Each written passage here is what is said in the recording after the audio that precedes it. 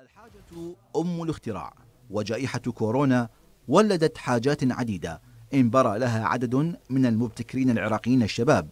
يوسف شاهين مبتكر عراقي شاب أراد مساعدة الملاكات الطبية وعموم المواطنين فقام بابتكار الكمامة الإلكترونية التي تعمل على تحديد مسافة آمنة بين شخصين وإصدار تنبيه صوتي عند تجاوز المسافة والأمر نفسه في حال لمس الوجه من اليد الملوثة. يوسف ينتظر منحه شهادة براءة الاختراع كي يدخل ابتكاره حيز الخدمة. جهاز يستخدم تقنية آه، تقنية الموجات فوق الصوتية ultrasound waves هي تقنية مو ضارة نهائيا. تعتمد على آه، إرسال وانعكاس الموجات فوق الصوتية بحيث أي جسم يقترب من داخل هذا النطاق اللي يحدده الجهاز راح ينطي الجهاز تنبيه للشخص داخل الأذن إنه أكو جسم اقترب داخل هاي داخل هاي المسافة. نعم. تم تقديمه بشكل رسمي للمكتب العراقي لبراءات الاختراع. آه، آه، كانوا حقيقة في غاية الاحترام والاهتمام بالموضوع.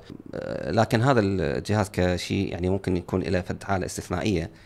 إنه يتعلق بالفيروس فممكن يعني أتمنى إنه يسرعون بالإجراءات حتى يعرضوه على الجهات المعنية. حيدر مجيد مبتكر عراقي آخر يقيم في الولايات المتحدة الأمريكية نجح في ابتكار جهاز كشف الحمى عن بعد باستخدام تقنيات حديثة وبإمكان هذا الجهاز أن يتعرف على درجة حرارة الجسم دون أي ملامسة وبات هذا الجهاز متاحا بعد إنتاجه من قبل شركات صينية ويابانية وأمريكية. الجهاز تم صناعته اليوم؟ والتسمية هذا الجهاز هو جهاز الاستجابة الوبائي.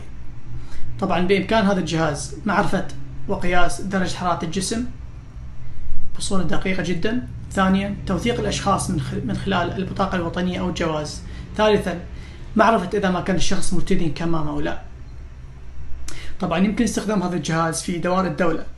المتمثلة بالقطاع العام والشركات الكبيرة والصغيرة المتمثلة بالقطاع الخاص. هذا الابتكار يضاف إلى ابتكارات أخرى أفرزتها جائحة كورونا فضلا عن ابتكارات في مجالات الصناعة والزراعة تنتظر دعم المؤسسات الحكومية كي ترى النور وتتم الاستفادة منها.